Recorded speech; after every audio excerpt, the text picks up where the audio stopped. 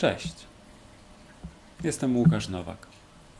I temat suwerenności żywnościowej jest na stałe wpisany w moje codzienne życie.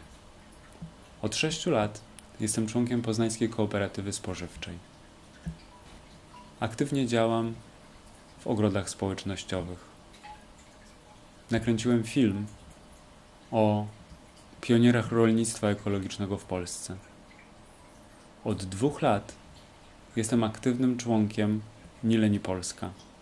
Współtworzę drugie forum suwerenności żywnościowej, abyśmy mieli przestrzeń do tego, by się poznać, by porozmawiać, co jest jeszcze do zrobienia, wymienić się uwagami, wątpliwościami oraz doświadczeniami z naszego codziennego życia.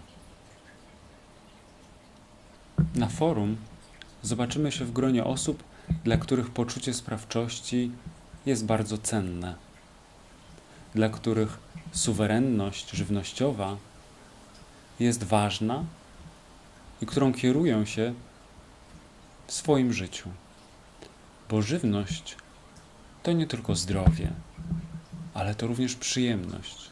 To nie tylko praca, ale również kreacja pasja obcowania z innymi, nie tylko z roślinami, ale również z drugim. Spotkajmy się i zastanówmy, co jeszcze możemy zrobić. Razem, wspólnie. Do zobaczenia.